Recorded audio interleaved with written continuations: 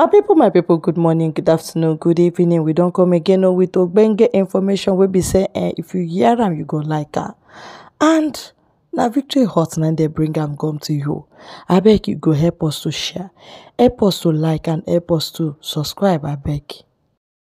I just stormed to this um, and I say let me share because people must share their opinion after listening to me. It said, the article says Simon Ekpa's journey from track athlete to Prime Minister of the Biafra Republic government in exile. Somebody wrote this. I know it's not Ekpa that wrote this. So let's read. It said, Service to one's country knows no bounds, and anyone willing to serve their people is welcome. This is the journey of Simon Ekpa, a former athlete and political activist who is now leading a movement to have his people exercise their human right to self determination. Born on March 21st, 1985, Simon Ekpa Njoku hails from Ohaukwu, Ebonyi State, Nigeria. He is from Igbo people who reside mostly in southern and south southeastern Nigeria. This region is part of what was formerly the Republic of uh, Biafra, a state that was briefly independent and partially recognized from 1967 to 1970, a period known as Nigerian Civil War. This conflict resulted in the death of millions of Biafrans who are due to famine caused by a military blockade of the region. Nigeria is an amalgamation of British colonial territories in West Africa which became independent in 1960. It is a collection of vastly different cultures with northern regions being mostly Muslim while the southern region being a mix of uh, Christians and adherents of traditional religions. As with many other instances in Africa, the former colonial powers lumbing of different people and cultures under arbitrary country borders has resulted in long-running ethnic, religious, and cultural conflict, which has been erupted, erupted into violence. Since the end of civil war, the Biafran people have been working to regain their independence, which is enshrined in the United Nations principles under the right to self-determination. A large number of Biafran people reside overseas, fleeing violence and lack of economic opportunities plaguing the region since the end of the war.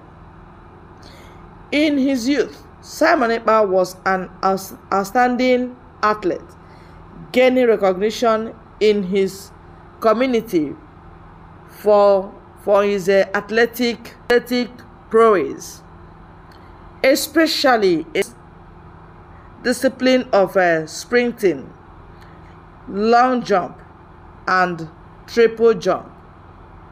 His performance caught the eyes of sports authorities and he was called on, on to represent Nigeria internationally, I mean multiple times. In the 2003 uh, Junior African Junior Athletes Championship held in Cameroon, Simon Ekpa won the silver medal, medal in the triple jump. Everything seemed to be going well, but Simon suffered a major knee injury, sidelining him from competition. According to Simon, many Nigerian athletes are left to their own device when injured, which is why many athletes change nationalities. As for himself, he moved to Finland in 2007 to seek treatment and surgery for his knee. There, Simon found a new life and career, entering the law profession and starting his own family. Settling down in the city of Lahti, Simon learned the Finnish language, gained Finnish citizenship, and completed his military service duties. He studied law at Aberystwyth University before joining the National Coalition Party of Finland and running for office in 2022 Finnish uh, county election. He is currently a member and committee chairman of the Transportation Board on Laden, Laden in Lahti. Simon has also served as the chairman of the Playground Board in the city Lahti, a position he held between 2017 to 2021. Overall, he has been active in Finnish politics since 2012. Simon is also the founder and CEO of Ekpa & Co., a law firm specializing in immigration law. Despite moving to a new country, Simon never forgot about the land he came from and the struggles of his people. He remained active in Biafran cycles, both in Finland and elsewhere, and continues supporting the independent movement. In 2021, Simon began rising in prominence, becoming a major figure in the independence movement. In April 2023, Simon was eventually elected Prime Minister of Biafra Republic government in exile, BRIC. The BRIC has more than 200 cabinet ministers located across the world and license offices in countries across multiple continents. The BRIC is also in contact with the de facto self governing territories in Biafra and is working to ensure the safety of Biafran people and protect them from violence.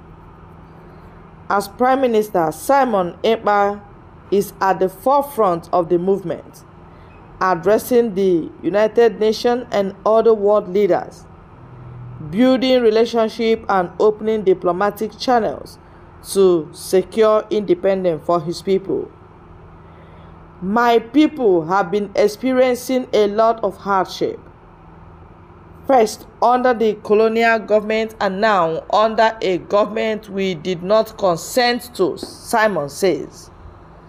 Our struggles has been ongoing for many decades and I'm honored with the trust and huge responsibility placed on me by the Biafran people to serve them and give them a voice in the international community. Starting in 2021, the Biafran people are engaged in civil disobedience activities, large scale sittings, which remain ongoing. A self referendum addressing the question of Biafra independence from Nigeria was also started on February 1st, 2024 and seek to gain the consent of the people to move the process forward. All right, that's all about uh, Simon Ekpa that is written here.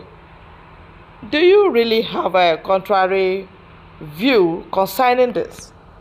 Or is this all about him? Or is this not about him? Is there truth in this? Or are there lies in this? I want you to, after listening, please help me to drop your comments. Because your comment will go a long way to helping us to know what is actually going on. For me, this is truth and nothing but the truth. So, but you may have contrary opinion. Please drop it. Thank you and God bless.